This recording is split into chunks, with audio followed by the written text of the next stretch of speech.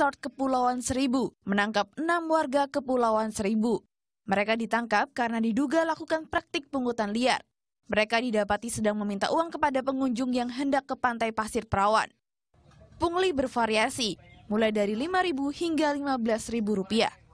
Di antaranya yang ditangkap terdapat warga yang masih di bawah umur. Mereka mengaku mengutip uang karena pengelolaan wisata pantai dilakukan swadaya masyarakat. Namun hingga kini belum ada konfirmasi dari polisi maupun para tersangka. Setelah berhasil menangkap enam pelaku pungli di Pulau Pari, Kepulauan Seribu, melalui dermaga 17 inilah mereka dibawa ke Polres Perwakilan Kepulauan Seribu guna melakukan pemeriksaan awal. Untuk hari ini, keenam pelaku sudah diamankan di Ditreskrim Polres Kepulauan Seribu. Dalam penangkapan yang dilakukan Sabtu lalu, diamankan barang bukti berupa uang sebesar Rp945.000 dan beberapa telepon seluler. Duita Meirani, Andri Surya